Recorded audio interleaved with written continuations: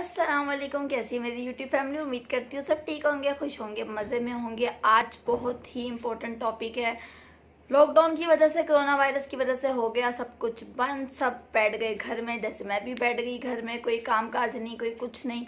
तो हुआ क्या कि पड़ गई आदत नेटफ्लिक्स पे मूवीज़ देखने की और नेटफ्लिक्स पे मूवीज़ देखनी रात को, क्योंकि दिन में बच्चे तंग करते हैं, कोई कुछ सुकून से देखने नहीं देते।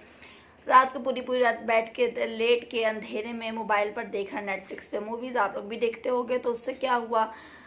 दो हफ़्ते बाद फील किया कि यहाँ पे बहुत ज़्यादा जो है ये जगह ब्लैक हो गई, यहाँ पे तो काला काला हो गया, काला काला। मतलब कि फील तब ऐसे हुआ कि मुझे कंसीलर नहीं लगाना पड़ता, फिर मुझे कंसीलर की ज़रूरत पड़ने लगी तो फिर मुझे पता चला कि डार्क सर्कल्स बन गया। सो डार्क सर्कल्स को किस तरीके से रिमूव किया किस तरीके से मैंने इनको कम किया मैं आपको बताती हूँ वीडियो में। बहुत ही इफ़ेक्टिव रेमेडीज हैं ज़रूर ट्राई कीजिएगा और ट्राई करके अपना फीडबैक मुझे ज़रूर दीजिएगा।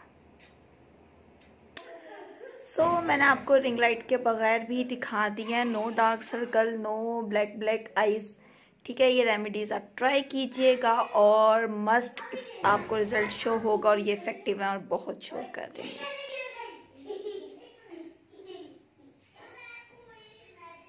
इस तरीके से आपने पहले खाली बॉल लिया, ठीक है? उसमें ये मैं ऐड कर रही हूँ, खीरे का पानी है, ठीक है? खीरे को आप ब्लेंड कर लो या खीरे को कद्दूकश कर लो, उसको जब निचोड़ो तो फिर इस तरीके से पानी निकल आएगा। ये खीरे का पानी मैं इसमें ऐड करूँगी।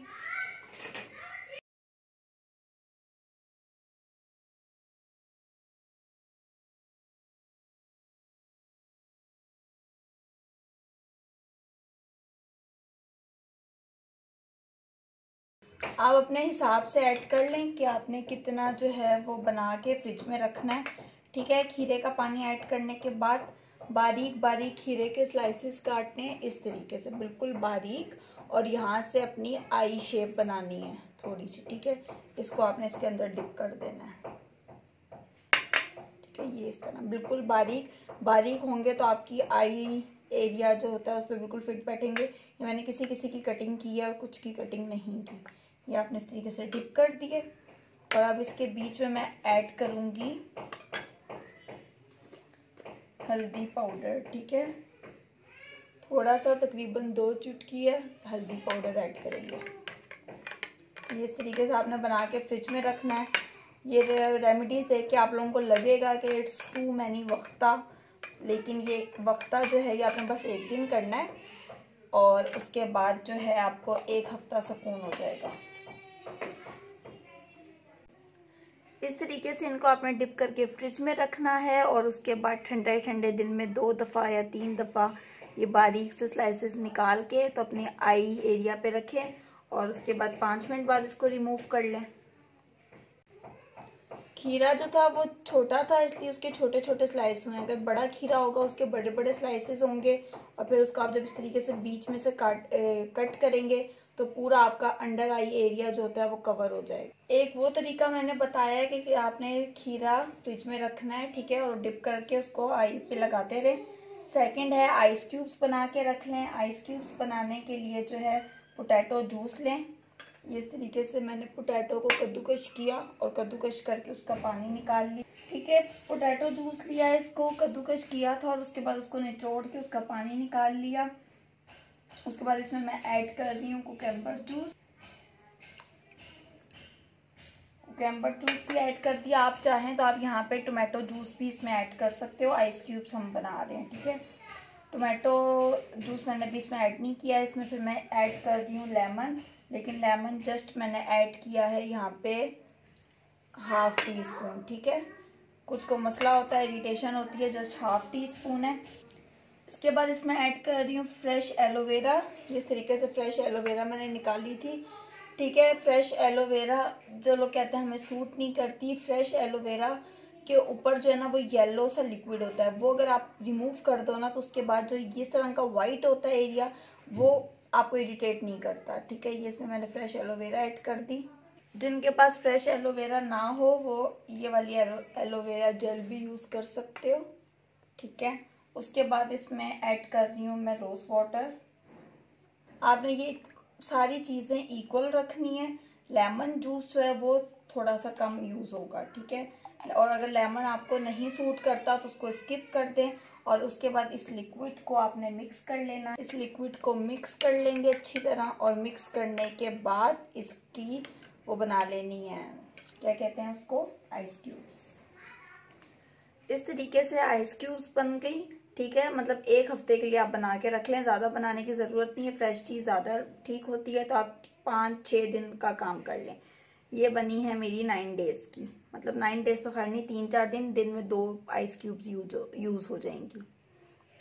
सो so, ये कैसे यूज़ करनी है ये मैं बाद में बताऊँगी जब ये फ्रीज़ हो जाए। इसके अलावा जी ये बहुत इफ़ेक्टिव रेमेडी है। यहाँ पे मैंने कुकम्बर पेस्ट लिया है। मतलब जब कुकम्बर को कद्दूकश किया, उसका पानी निकला ना थिक सा, ये वो है, ठीक है?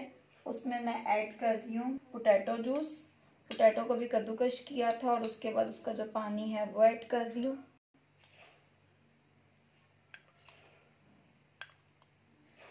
दोनों को मिक्स कर लें। इसमें आपने ऐड करना है पुदीने का पानी। पुदीने का पानी ऐड करें।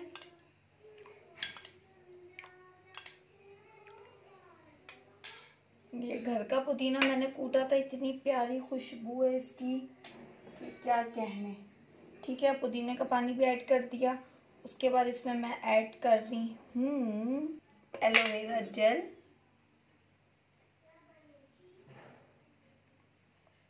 ठीक है, इसके बाद इसमें मैं ऐड करूँगी थोड़ी सी जस्ट वन पिंच हल्दी।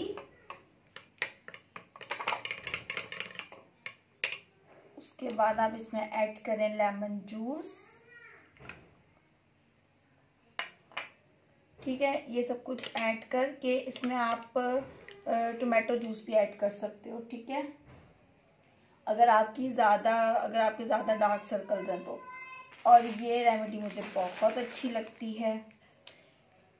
ठीक है, ये सब कुछ ऐड करके ये लिक्विड फॉर्म में आ गया। इसको आप ना किसी भी बेशक इस टाइप के खैर, ये तो छोटा है, लेकिन कोई भी शीशे का, प्लास्टिक का बड़ा, हो, जार हो, उसमें आप ये लिक्विड डालो और लिक्विड डाल के आप इसमें कॉटन बॉल्स ऐड कर दो।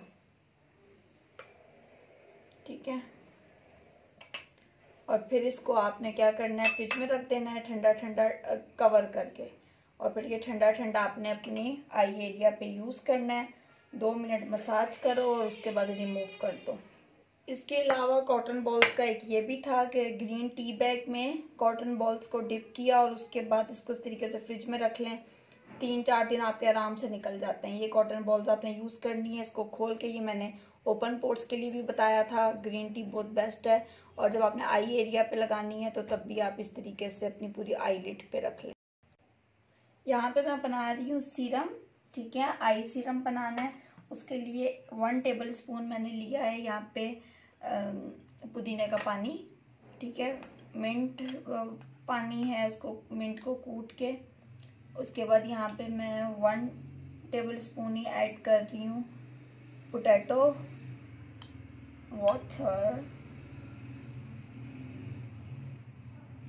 वन टेबल स्पून पुदीने का पानी वन टेबल स्पून आलू का पानी डाला है, ठीक है? और उसके बाद इसमें वन टेबल स्पून ही मैं ऐड करूँगी बादाम का ऑयल ये मरहबा का यूज़ कर रही हूँ, आप कोई भी यूज़ कर लें। वन टेबल स्पून बादाम रोगन जो होता है वो डालें। ठीक है, इसको अच्छे से मिक्स कर लें। इसके अलावा आप आई सीरम बनाने के लिए ऑलिव ऑयल भी यूज़ कर सकते हो। ठीक है ऑलिव ऑयल भी यूज़ किया जा सकता है। Olive oil plus honey use कर लें। इसके बाद मैंने ये डब्बी ली हुई है, इसमें मैं ये सीरम डाल देती हूँ। या अगर आप चाहें तो आप इस ऐसी बॉटल लेकर उसमें भी सीरम डाल सकते हैं, ठीक है? हाफ़ सीरम इसमें डाल लिया मैंने। इस तरीके से अपने आई एरिया पे लगा के तो इसको इस तरीके से आपने मसाज करना है, ठीक है? वो मैं भी करके बताऊँगी। तो इसमें ऑलमंड ऑयल है। आप चाहें तो ऑलमंड ऑयल की जगह ऑलिव ऑयल भी यूज़ कर सकते हो। और थोड़ी देर बाद ये बिल्कुल एब्जॉर्ब हो जाएगा।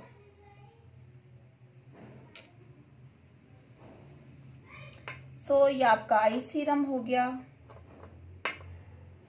आई सीरम हो ठीक है या आइस क्यूब्स हों या कॉटन बॉल्स हों या ये वाला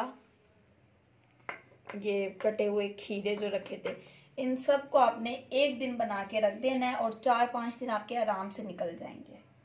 ठीक हो गया। ये वाली कॉटन बॉल्स भी हैं। मुझे कॉटन बॉल्स वाला पार्ट जो है वो बहुत अच्छा लगता है। ये रेमेडीज़ आप यूज़ करते हो तो मेरा नहीं ख्याल कि आपकी जो है वो डार्क सर्कल्स बचेंगे। इम्पॉसिबल है कि आपके डार्क सर्कल्स बचें, ठीक है? इन सब ये सब होम इंग्रेडिएंट्स हैं और इनमें जो है ये विटामिन सी जो है ये आपकी खीरा जो है, इसमें विटामिन सी होता है ब्लीचिंग प्रॉपर्टीज़ होती हैं। रोज़ वाटर भी मैंने ऐड किया है, वो पफिनेस को आपके दूर करेगा एलोवेरा यूज़ की है आपके आई एरिया को जो है वो हाइड्रेट रखता है, ठीक है? जो स्वेलिंग हो जाती है, उस इरिटेशन होती है, उससे भी दूर रखेगा। इसके अलावा डार्क सर्कल्स को ख़त्म करने के लिए आपने नींद पूरी लेनी है। टेंशन से कोसों, मीलों दूर रहना है और पानी ढेर सारा पीना है। अगर आपसे पानी नहीं पिया जाता मेरी तरह तो फिर आपने जूसेस पीने हैं। जूसेस में पहले भी बता चुकी हूँ कि किस तरीके से आपने पीना है। और अभी फिर बता देती हूँ कि आपने रोज़ एक दिन रख लें। एक दिन आपने खीरे का जूस पीना है। खीरा लिया, उसमें पानी डाला, उसको ब्लेंड किया और उसको छान के पी लिया, ठीक है? उसमें हनी ऐड कर लें, टेस्ट के लिए लेमन ऐड कर लें। इसी तरीके से आपने एक दिन टमाटर लिया, उसको पानी डाल के ब्लेंड कर लिया, छान के पी लिया। एक दिन आपने सेब लेना है, उसमें पानी डाल के उसको ब्लेंड करना है और छान के पी लेना है। ठीक है, इस तरह के जूसेस पिए तो ये आपका जो आपको होता है ना, पानी आपने एक दिन में आठ लीटर पानी पीना है या जी चार लीटर पानी पीना है, इतना पानी नहीं पिया जाता तो पानी का मतलब four litre sorry four litre equal to one glass of fresh juice ठीक है? तो उससे पा, ज़्यादा पानी पीने से बेहतर है कि आप थोड़ा फ्रेश जूस पी लो। तो वो आपकी पानी की कमी को भी पूरा करेगा और आपके और minerals folic acid iron calcium potassium सबको पूरा करेगा। सो so, चीज़ें लगाने से ज़्यादा इम्पोर्टेंट है कि चीज़ आपके पेट में जाए।